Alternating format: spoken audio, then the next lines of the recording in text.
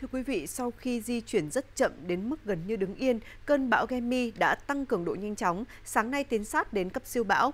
Gemi không đổ bộ Philippines, nhưng mà chỉ ảnh hưởng của nó cũng đã đủ mà thủ đô Manila ngập lụt mênh mông và ở Philippines thì đã có người thiệt mạng. Nhiều trường học và công sở cũng phải đóng cửa khi nước ngập sâu đến ngang ngực. Cục Quản lý Thiên văn, Địa vật lý và Khí quyển Philippines Pasaga cảnh báo lượng mưa lớn ở các vùng cao hoặc miền núi do ảnh hưởng của cơn bão Kaemi, tên địa phương là Karina.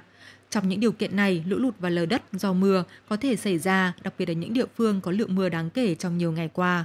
Ngập lụt buộc chính quyền phải đóng cửa trường học, văn phòng và hủy các chuyến bay ngày 24 tháng 7, đồng thời tuyên bố tình trạng thiên tai ở khu vực có 13 triệu người. Vẫn còn có người ở lại. Vợ tôi, các anh em họ và nhiều họ hàng vẫn ở trong nhà.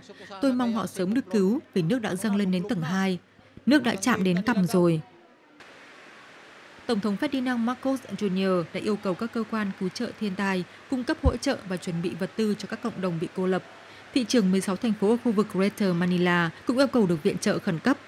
Sau khi quét qua Philippines, bão Kaemi đổ bộ vào bờ biển phía đông bắc vào tối 24 tháng 7 dự báo là cơn bão mạnh nhất tấn công Đài Loan, Trung Quốc trong 8 năm qua.